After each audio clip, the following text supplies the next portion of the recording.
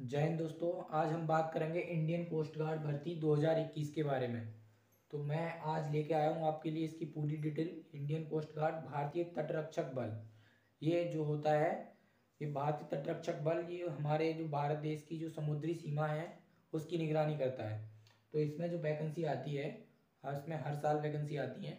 तो आज अभी जो वैकेंसी आई है, उसके बारे में मैं आपको डिटेल लेके आया हूँ। कब से इसका ऑनलाइन स्टार्ट है और ये कितनी वैकेंसी हैं? तो चलिए शुरू करते हैं हम। स्टार्टिंग डेट इसका जो फॉर्म स्टार्टिंग डेट है, वो है चार जनवरी 2022 चार जनवरी से इसके फॉर्म स्टार्ट होंगे।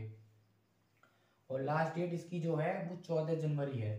ये एक इंडियन कोस्ट गार्ड हो गया और नेवी वगैरह, इनमें क्या होता है, बहुत ही कम समय मिलता है फॉर्म भरने के लिए। तो आप जल्दी से अपना साइट को देखते रहें। जैसे ही मैं आपसे कहूँगा कि आप पहले ही इस फॉर्म को ऑनलाइन करने की कोशिश करें।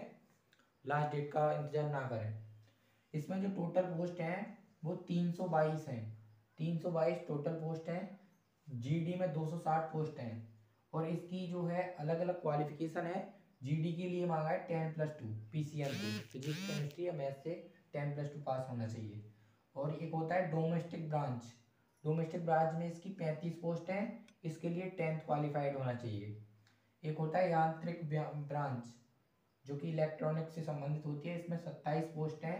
इसमें tenth plus ITI related trade से अब बात करें इसकी फ़ीस की तो इसकी फ़ीस जो है आल कैंडिडेट के लिए मात्र दो सौ पचास रुपये या वो ओबीसी से हो या जनरल से, जिसी से भी बिलोंग करता हो, सबके लिए दो सौ पचास रुपये है। अगर एज की बात करें तो एज ग्रुप जो है, अठारह से बाईस साल तक।